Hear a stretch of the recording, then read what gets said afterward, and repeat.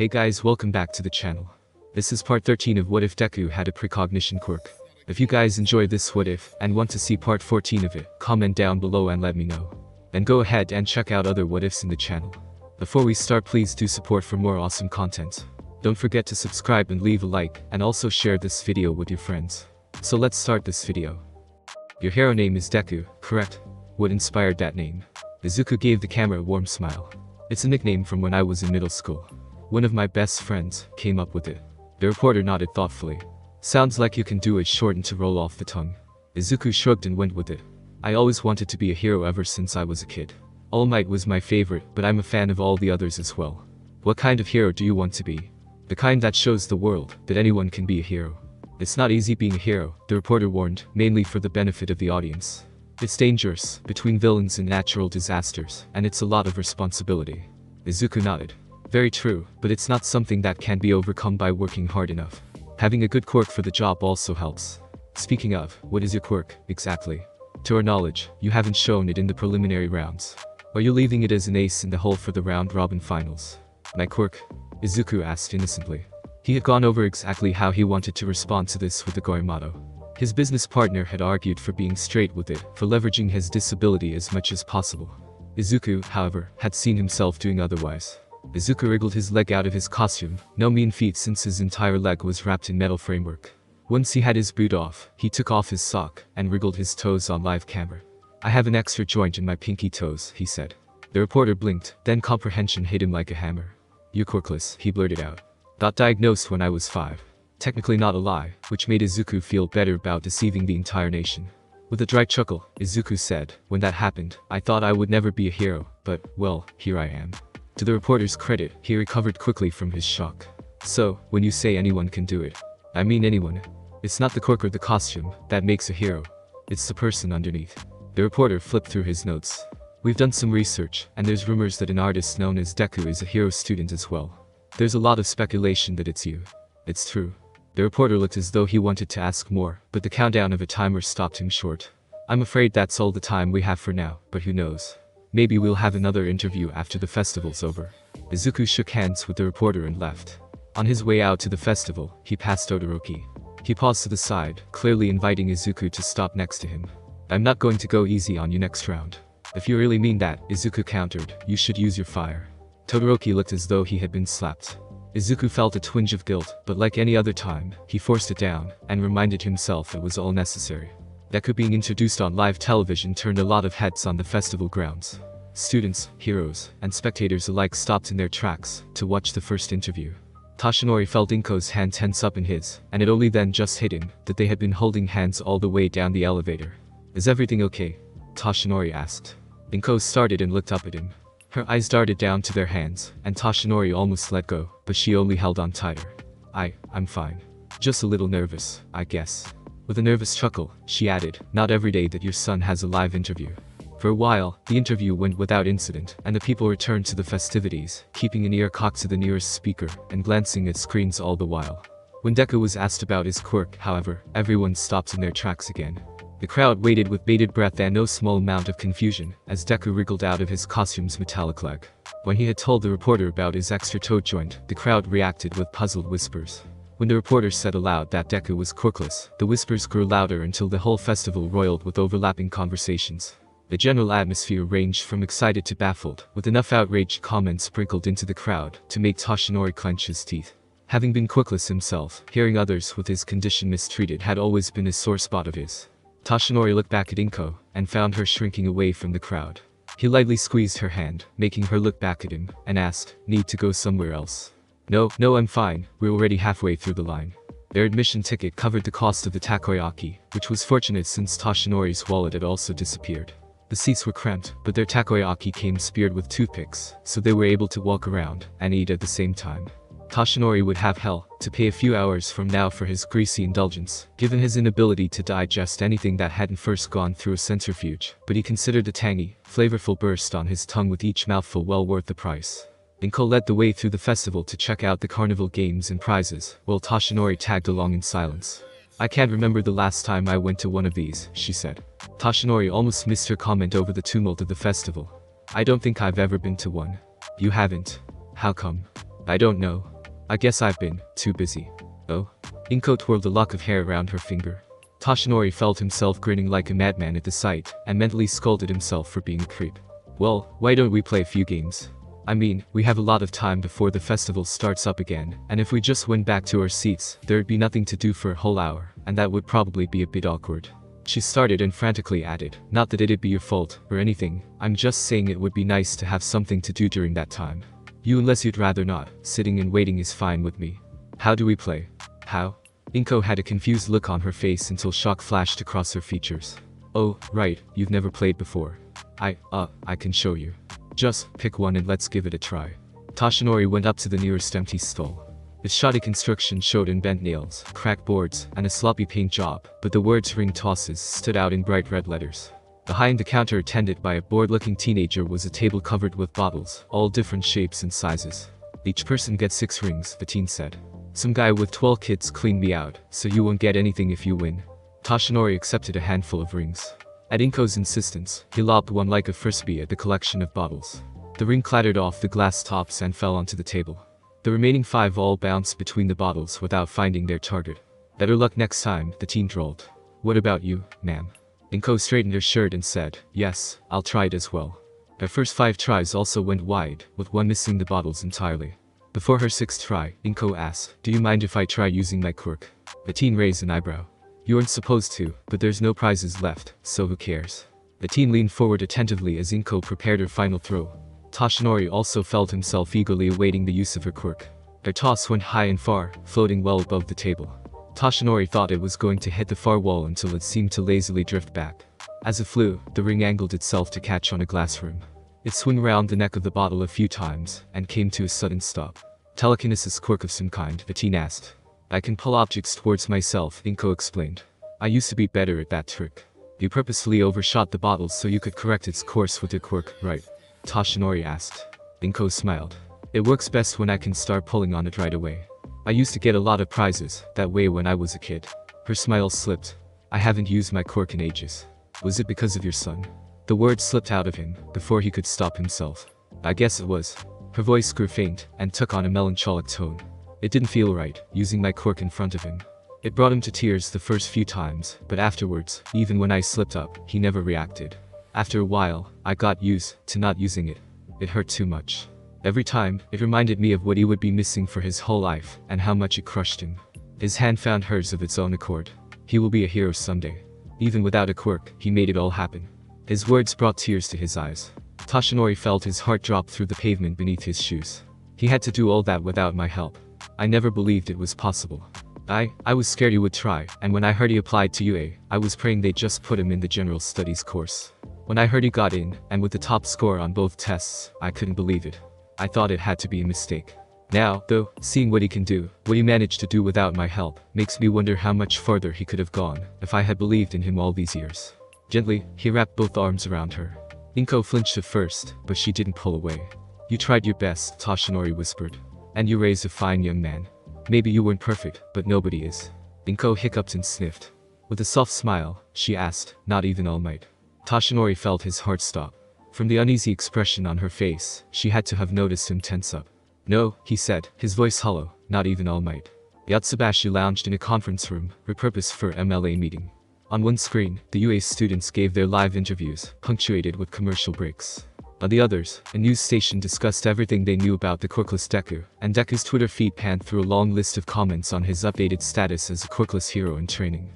We should have done it sooner, one of Yotsubashi's lieutenants said. Letting that quirkless vermin get this far will encourage harsher regulations on quirks. I can already hear the pithy speeches about how quirks aren't needed to make a difference in the world. Yotsubashi swirled around a glass of sake. Patience. The higher he rises, the harder he will fall.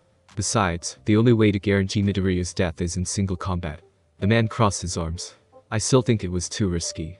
Well, they both made it, a woman across from him said, so why complain about it? Besides, it's not like the brat's going to win, right? Not with Endeavor's son in the mix. I don't care how good that gear is, nothing can stand against a perfect quirk like that. Yotsubashi decided not to point out that Todoroki's perfect quirk, according to the school's records, was only being half used. Even half a quirk beat none. It was simple math. Have they released a tournament schedule yet? Yotsubashi asked. No sir. Looks like they're waiting to randomize it once the interviews are over. A pity. Fukusabe-san, could you run a final diagnostic on that injector we added? You can't be too careful with Nezu sniffing around our contract work. The aforementioned engineer ran a program on his phone. The remote receiver is still responding. Like I said earlier, they have to completely disassemble the gauntlets to find the injector, and if they did that, they detonate the nitroglycerin pockets stored with the injector. There's no way of deactivating the device without setting off the explosive. And removing every trace of our tampering with no one the wiser another lieutenant finished. Your brilliance never ceases to amaze me, Rikiya-san. Yotsubashi smiled and hid his bitter grimace behind another sip of sake. That man had gotten too obsequious for his taste, perhaps an accident was in order, or a scandal of some kind. Did we dig anything up else on them? Yotsubashi asked. It's mostly circumstantial evidence we're finding, but there was a file written up by a teacher that had been terminated shortly after, that they had never fully deleted. The tech expert grinned. Juicy stuff, details about the burn marks and everything. I also managed to clip together some footage from traffic cams, a bit blurry, but presentable enough. Perfect. Have that ready to drop. We'll time it about an hour after his death is officially announced. As he poured himself another glass, Yotsubashi mused, it'll be the perfect story, the tragic tale of a quirkless student who had gotten in over his head against a power-hungry, violent young hero, willing to do whatever it took to look good on television. UA's reputation will be ruined, heroes will be restricted, and in the chaos to come, we can lobby hard for people to exercise the right to defend themselves. He raised his filled glass and called out, to our liberation. There's much work to be done afterwards, but today will mark a decisive blow for the MLA. Perhaps it was a premature toast, but his lieutenants, swept up by his sudden speech, all cheered with him, to our liberation. When the announcement showed the fated match, to be the very last of the festival, Yotsubashi knew it had to be an omen of good fortune for them. Chisaki Kai kept his spotless lab. Syringes, scalpels, refrigerators, centrifuges, an HPLC chromatograph, and more, meticulously arranged and disinfected three times before and after each use. The concrete floor and padded chair bore faint ridges, nearly invisible signs from hasty reassembly, after breaking their blood-sodden surfaces down to the molecular level. A sharp knock came at the door, and it flung open. A black-clad man wearing the bird mask of the Shie Hassaikai barged into the room waving his cell phone. Hey boss, you got to see this. Overhaul stuck a syringe into Eri's arm. She winced, but didn't make a sound as he drew another vial of blood. After setting the sample into a refrigerator, he washed his hands three times before turning to address his underling. I'm busy, Overhaul snapped. This better be important. The man's grin faltered, but he held up his phone. On it, a green-haired kid announced to the public that he didn't have a quirk. Some UA student competing this year is quirkless. I thought you would appreciate it, since, you know. Overhaul took the phone from him, and listened to his speech. After it was finished, Overhaul reduced the phone to stray wisps of gaseous plastic and metal. The underling swallowed, and anxiously watched Overhaul flex his hands. Even the healthy ones are diseased, Overhaul sneered. All the more reason to get rid of quirks and heroes forever. When he got back into the room, Eri had fallen off the chair. Her skin was turning gray, and her body was cold. With the lightest touch of his hand, her body burst apart in a shower of blood, and stitched itself back together into a living child. Eri trembled as he washed his hands again. That's enough for today. You've been a good girl, so you can have some extra food today. Eri nodded mutely, and ran out of the room. Once she was gone, Overhaul pulled the latest fruit of his efforts out of the incubator. The clear, viscous liquid, with the essence of Eri's quirk carefully measured and treated with his quirk, was the first step in ridding the world of heroes. He washed his hands three times, grimacing in distaste at the grimy gray powder coating his hands, and rubbed his hands with sanitizer three times for good measure. Everything in threes, a nice clean number. Balance pure. Just like he'd make the world. Going out the back door of his lab, he climbed down into the boss's hospital room. It had taken a great deal of threats and favors to convince the other members not to put him in a hospital. They might ruin something. Only he could put him back together exactly as he should be. One hand straight to the unconscious man's wrist, and Chisaki stopped himself. Not now, not until the world was clean again and the Shie Hassaikai were back in their rightful place. Not until he was the last diseased man on earth, with his remedy in hand. He would use it to fix one last mistake in the world, and get rid of it forever. It's nearly ready, he whispered excitedly. The effect is only temporary now, but it's marketable. The Shie Hassaikai will be richer than ever. Then I can finish the final antidote. He put both hands on the bed, and knelt next to his mentor. We're so close to a perfect world. Just a bit more time, and you'll be able to see it. The comatose man in the hospital bed gave no reply. His vitals gave off a slow, steady beat, and each breath made the sheets rise and fall. Three connections in his brain were severed with precision that would leave neurosurgeons envious, preventing him from waking up. The lightest brush of his fingers would fix him, but Chisaki left his hands where they were. Once he returned to his lab, 30 liters of plasma were waiting for him on the counter, split between three insulated crates. The three goons that had brought them in watched him eagerly as he approached them with the vial that had been the product of months of painstaking research and testing. Chisaki broke down the glass vial and let the liquid inside pull in his palm. With his other hand, he reached into a crate. The plastic warped, and the plasma sloshed around his hand. An acrid smell filled the air as the plasma took on a more congealed texture, matching the contents of his palm. Then the liquid shifted as plastic membranes formed around them. Once Chisaki was done, all three of the crates had 30 bags of modified plasma between them. Get those into darts and start selling them, Chisaki said as he washed his hands three times. Today marks the first step in ridding the world of heroes. As much as All for One hated interacting with his protege, it had been too long since his last in-person visit, and the mentally twisted teenager was growing sullen. Shigaraki reminded him too much of his younger brother at times, gritty and so full of spite. Consciously, he took great joy in turning the legacy of One for All against itself, but in moments where Shigaraki skulked after just missing a high score, or awkwardly avoided his own minions, All for One could envision his own brother, at his side, helping him like he was supposed to. The thought was a different kind of pain from the one that ravaged his broken body. At the back of the lab, All for One's personal doctor had set aside a few chairs and a television. Dr. Garaki himself peered out occasionally from behind his latest Nomu, catching glimpses of the hero students as he regulated the quirk intake of his latest test subject. When all for one spared a glance back at the Nomu, he silently approved of the bony, bat-like wings sprouting from its back. Flight was always a useful ability in one's arsenal. All for one was beginning to regret his decision to leave the sports festival alone. It had been a terribly dull affair so far, a few tantalizing quirks, sure, but all of them so grossly mishandled. Perhaps he had a few centuries on them all, but that was no excuse to be so sloppy. It gave him no small amount of ironic amusement that a quirkless kid showed exactly how pathetic this future batch of heroes was shaping up to be so far. I want that one, Shigaraki said, pointing at the screen. All for one feigned an interested grunt. Which one? The shadow one. It's like having an extra party member. Too difficult to control, all for one muttered. And I don't think fusing it with another quirk would help. Its utility is tied up in its sentience, removing that would leave it no better than any other emitter quirk. Shigaraki grunted and returned his attention to the screen. The final preliminary round had just ended, and the announcer promised live interviews after a commercial break. When are we going to see All Might's successor? The question left All for one vaguely uneasy. Thus far, he hadn't caught a glimmer of his age-old nemesis, the quirk he had so foolishly bequeathed to his rebellious younger brother. There were still the upperclassmen competing tomorrow, but logically, it made the most sense to pass the quirk on to someone younger, and give them time to acclimate to its power.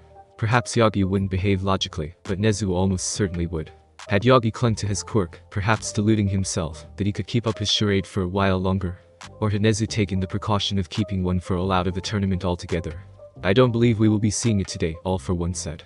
I think they realize that unfriendly eyes would be watching. Shigaraki scowled, and for a moment, all for one caught a glimpse of white hair. We should have attacked it. Patience, Shigaraki. This is an excellent opportunity to gather information, and leaving this alone will invite them to lower their guard for future events. Next year, perhaps. All for one felt the tremors of approaching footsteps, a fourth set in the room. He let the sensation wash over him, the product of several quirks he had stolen and fused together to give himself a tactile base since few quirks could fool. By the time it reached him, he could sense the Nomu down to the extra arms sprouting from its sides. In the beast's massive hands were a bucket of popcorn and two sodas. Thought I'd test the latest specimen, Garaki said. Did it pop the popcorn like I asked it to? Shigaraki crammed a handful in its mouth. Too much salt, he growled as he washed it down with soda. Noted, the doctor said. Did it at least butter the popcorn? Shigaraki nodded as he went for a second handful. Impressive work as ever, doctor. I'm glad to see this one has greater faculties than that first experiment. Melding an intelligence-enhancing quirk did more harm than good. The trick is to only use quirks similar enough in function to avoid overtaxing the brain. Of course, with a bit of all for one, I could bypass that problem entirely. All for one did not dignify that suggestion with a response. Instead, he turned his attention back to the interview, and the green-haired kid who told the world he was quirkless. The child had already come onto his radar, and something about the wording caught his interest, drawing attention to the extra toe and the diagnosis.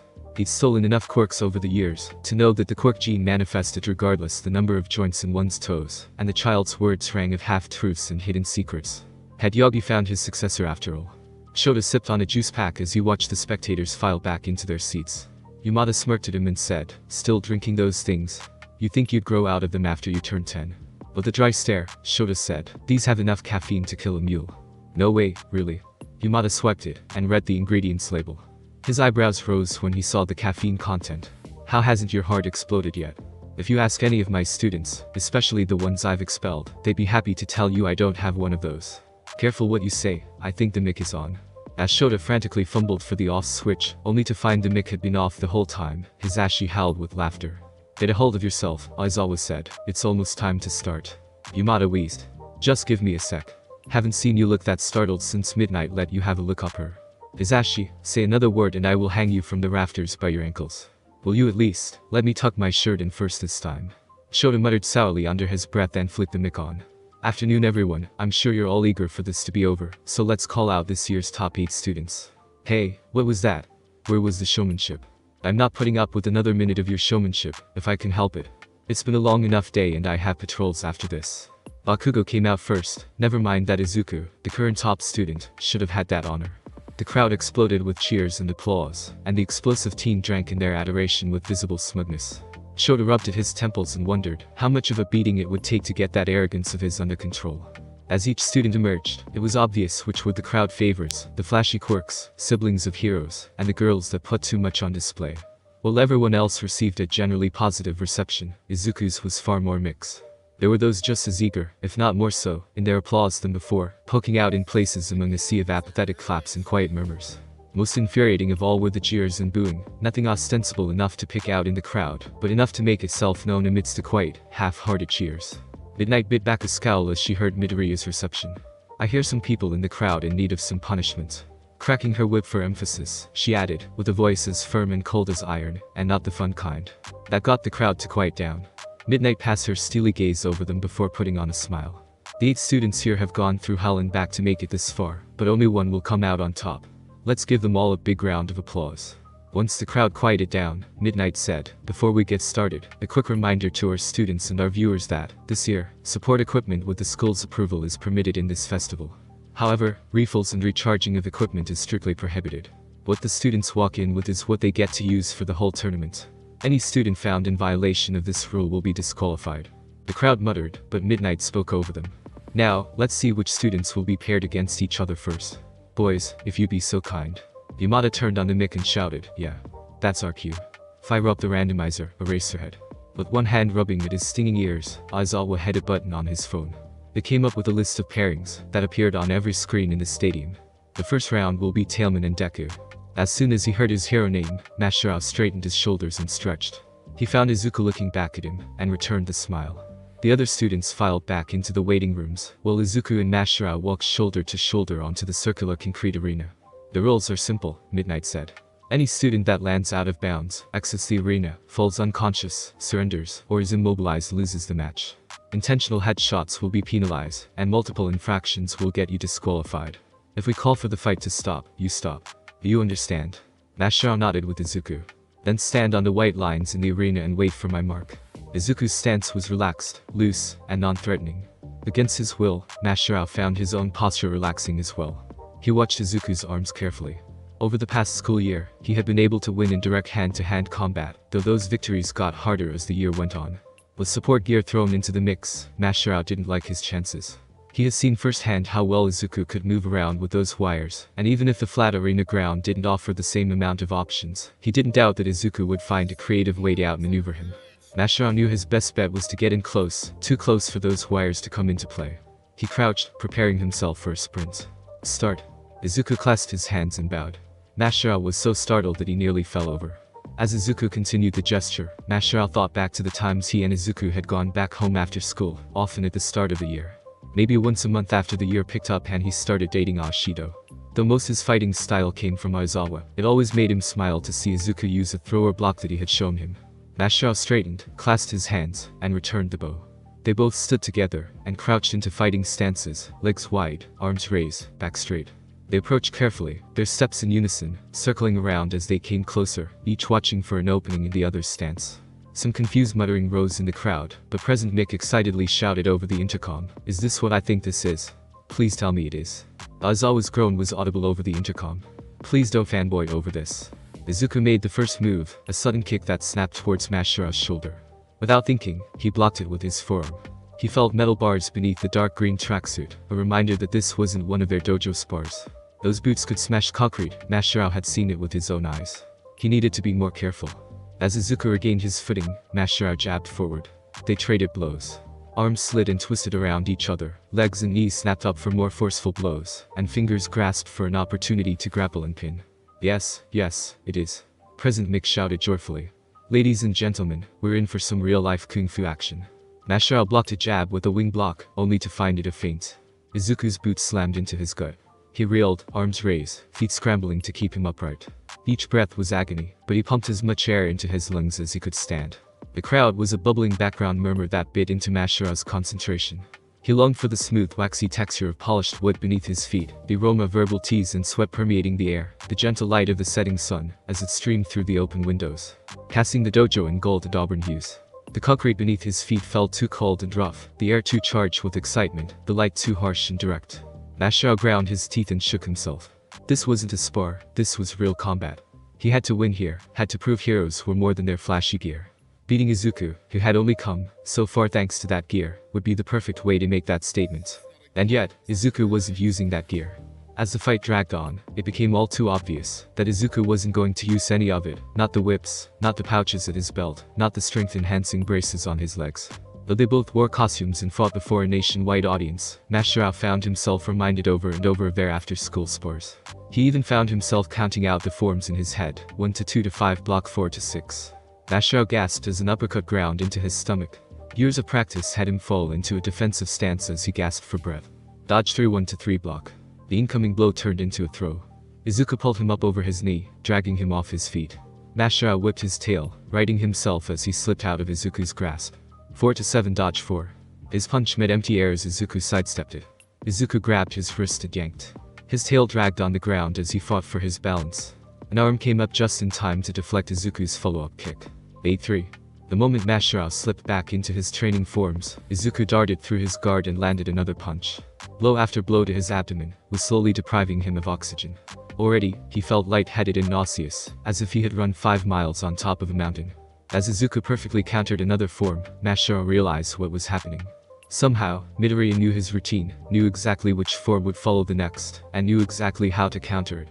That explained how Izuku's blows seemed to find the precise spots he wasn't guarding. Mashirao backpedaled, and Izuku made no move to close the sudden distance. Mashirao took those few precious seconds to think. If he tried to attack again, Izuku would anticipate his forms and counter them. So, his only option was to let Izuku make the first move, react to it, and trust his training and instincts to counterattack properly. Izuku may have given himself an advantage by studying his form and fighting habits, but he couldn't win against reflexes honed by years of training. Emboldened by his plan, Mashirao inched forward. A tense silence filled the stadium as everyone waited for the fight to resume. Mashirao waited, arms raised, his eyes fixed on Izuku's feet for any hint of his next action. The slight shift of his left foot signaled a jab. Mashirao blocked and flowed seamlessly into his next form. Izuku's arms rose to divert the attack, and a foot leapt towards his face. Trusting his forms, Mashirao leaned back and flung up his own foot, using his tail to balance and strike higher. Izuku sidestepped, but Mashirao was back on his feet fast enough to block the next punch. Their fistfight dragged on for minutes. Mashirao scored a few blows as reflex, and practice gave him small openings in Izuku's eerily impregnable defense. Izuku connected some hits in return, when Mashirao got thrown off by Izuku's bizarre body language. As time dragged on, the earlier hits wore at Mashirao's stamina. Sweat drenched his face, and each breath burned like a furnace. He had to fight the urge to double over and gasp in pain. The thought crossed his mind that he should yield and save his strength for later rounds, but he couldn't accept that he had lost to Izuku on even footing. Not like this. Evenly matched with four limbs to four, Mashirao had only his quirk left to tip the balance. His tail, though less nimble than his father's, hit a lot harder. He whipped around, swiping his tail at Izuku's legs. When he turned back around, Mashirao found his opponent three feet in the air. Before he could react, a foot connected with his shoulder. The flying kick knocked him off the arena edge he hadn't even realized was there. And after a spectacular kung fu performance, the battle goes to Deku. President Mick shouted to the audience. Absolutely unbelievable.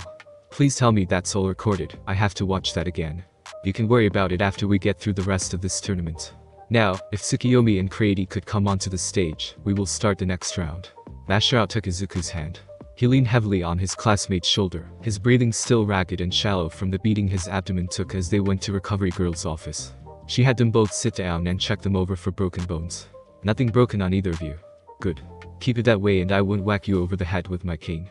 She turned to Mashirao and said, I could help with those bruises, but it'll leave you tired.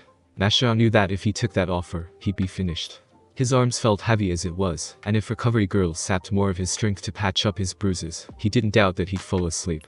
No, I'll be fine. I can keep going. He let out a groan as he stood, but he gritted his teeth and walked off the pain. The recovery girl sighed and brought out a jar of white gummies.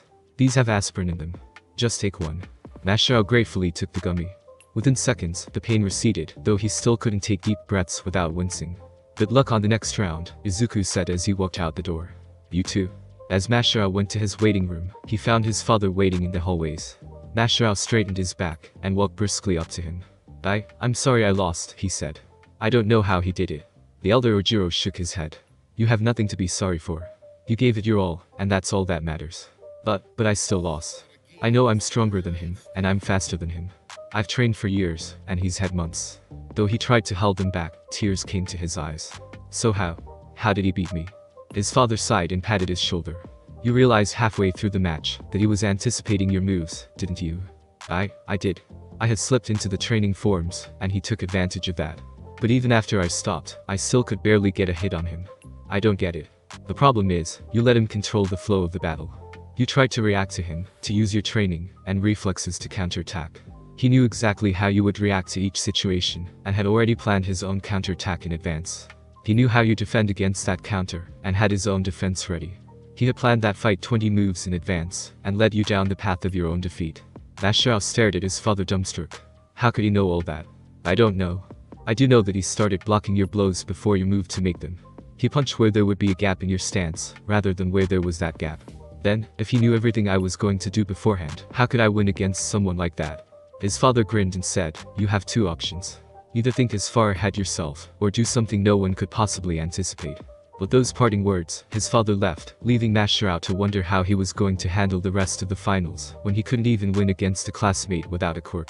Hitoshi smirked at his opponent and said, So, ground zero, how does it feel to lose every round to a quirkless kid? Ha. Bakugo looked as though he was about to burst a blood vessel. What the what did you just say? Start? Present Mic shouted for half a heartbeat, as the snarling, enraged face of Ground Zero rocketed at him, framed by the flash and smoke of twin nitroglycerin explosions, Hitoshi felt a flicker of fear.